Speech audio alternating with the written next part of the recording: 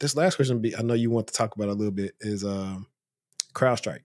I know you want to touch on I kind of like the magnitude of that, and and it was pretty interesting. I didn't know they they had uh, people try to call it a monopoly. I wouldn't say it's a monopoly, but I didn't know that much of everybody's environment was touching CrowdStrike to that um, capability. Then finding out outside of that, certain companies operationally and IT wise are lagging behind and don't have the support that they need to come back from something like that super fast because somebody I was talking to a friend. I forgot what they, they but they were telling me they they know somebody that works for for Delta and was pretty much stating like, hey, they are still using like some of the oldest of old stuff. I think they were saying they were using like uh, Microsoft Access databases for for a lot of the things, and that they were taking so long to come back up because of other stuff. But you know, it was good. Granted, CrowdStrike had their part to play in it, but it's always good to find you a scapegoat yeah. when somebody like because it's not a in security, it's not an if, it's a win. So the win finally happened, and you knew it was going to happen, and you weren't ready for it. And so now you can say, well, CrowdStrike did it. It's CrowdStrike's fault. Like it, everything's just CrowdStrike's fault. so you see, you've seen them on the last couple of weeks going back and forth with Delta and CrowdStrike going back and forth, and CrowdStrike stating like, "Hey, we tried to reach out and help you guys a certain way, but you guys denied the help." But in essence, I guess you can summarize, you know, from a C-level's perspective, you know, what do you think about the whole conundrum? It is. It's a great question. Um, let's wheel back. I don't work for CrowdStrike. Um, I have other than friends that are fairly high levels at CrowdStrike. I have no vested interest in CrowdStrike as a conversation point. So I have no reason to be nice to them or not nice to them. Like they're not my employer. Right. Um, quite frankly, they compete with us in most spaces. So like I, I, I have no reason to be nice to them. Um, but this is not a CrowdStrike problem. You have humans writing code. There's going to be bugs. There's going to be issues. Just a matter of time. This has happened multiple times before with other companies. Um, you know, outside of McAfee, because a lot of people point back, yeah, it happened with McAfee, and you know, some of the same names that were at McAfee then were at CrowdStrike now, so it must be there. For, Nonsense. This is going to happen. It's happened outside of um, cybersecurity as well. You got software. Sometimes software going to have a bug. Things going to go bad. Facts. Full stop. So I don't. I, I, this isn't a CrowdStrike problem. If you as a company don't have proper disaster recovery procedures that you've accurately tested and you regularly test them, like can you actually do a restore? I ain't asking you is the tape there, but can you actually do you have the tools you need to restore if and when something bad happens? And do you know the dependencies? That's the key term here. That to restore, I'm going to need an Active Directory up. And if my Active Directory goes down and I don't have a master domain controller, I can't restore. Do have you prepared for that? most companies that's where the thing falls down but i've been doing backups every day yeah but i can't restore them now because the thing that the backup needs is blown up um so that's a company process and process discipline problem and that is often a problem in cybersecurity because the cybersecurity industry has made security and securing organizations that are non-cybersecurity industry. So, you know, airlines would be a good one. They didn't care about cyber. They care about flying planes. Candidly, I want them caring about flying planes because I want them planes to never crash because I'm on them a lot.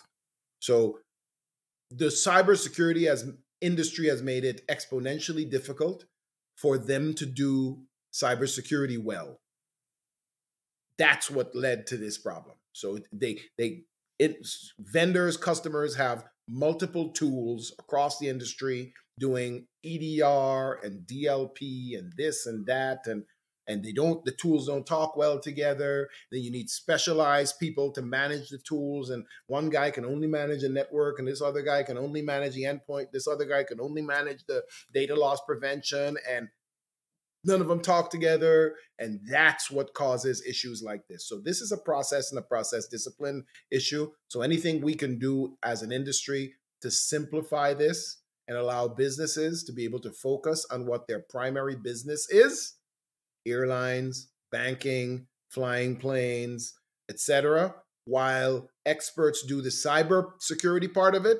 That's what we need to get back to. Simple. And I say simple, it's not simple. So it requires a lot of cultural change, but that's where that's what I think drove this entire um, you know debacle with the blue screen of death. I will say there is a perception now that oh my god, I didn't realize and you said it.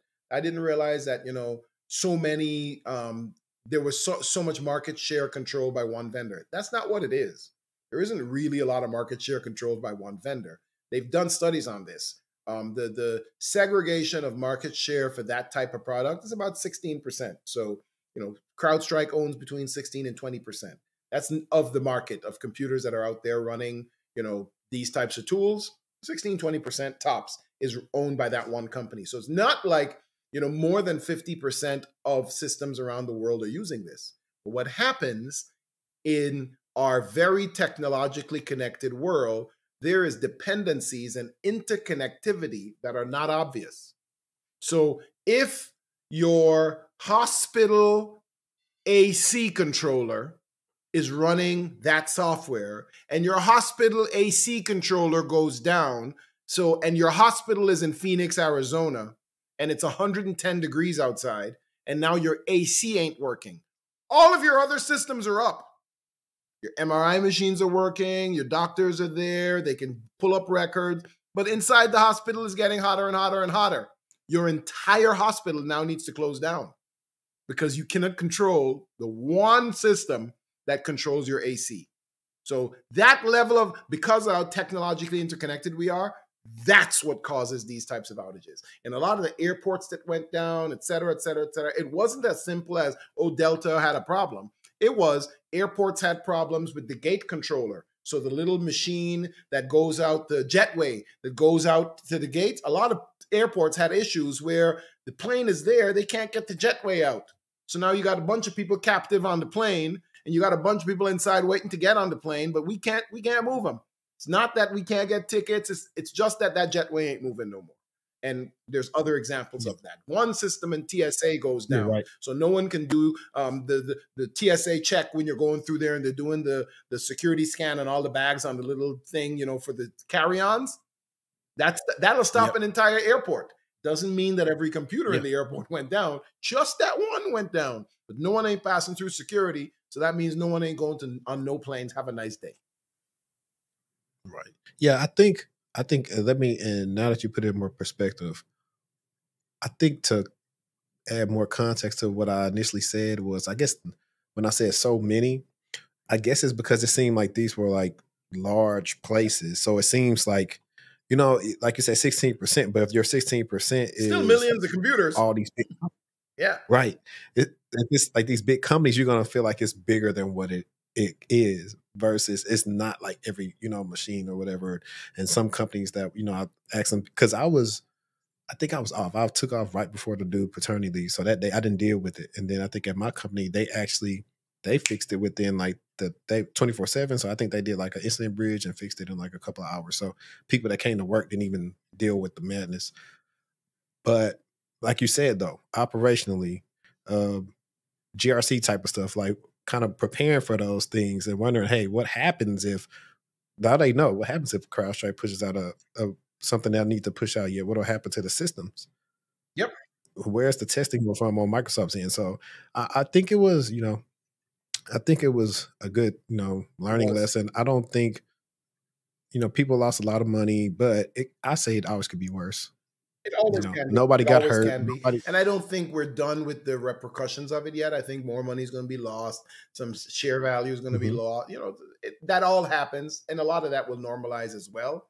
But for the the CISOs, the CIOs, the CFOs that are actually responsible for infrastructure, I think it's a valuable lesson on what do you need to do to simplify your infrastructure. What do you need to do to diversify your infrastructure a little bit? So if you got, you know, a lot of these big organizations have 100,000 computers some of them have mil- a million computers, literally, one organization. So maybe you don't want a million of your computers having the same tool on them. So you split it up 50% there, 50% there. So now you have a disaster plan. If if X tool blows up, at least these other systems over here are working. So we have some level of redundancy. I, th- I think more organizations are going to think about that. And more organizations are going to think about um, using managed services to just manage the entire process. If you if you had a good managed service in place, you would have caught that hey this this um, um, update has some issues on it, and you could have stopped the update in time to where only one percent of your systems go down rather than all your systems go down. So there's there's things that could be done um, in different environments. So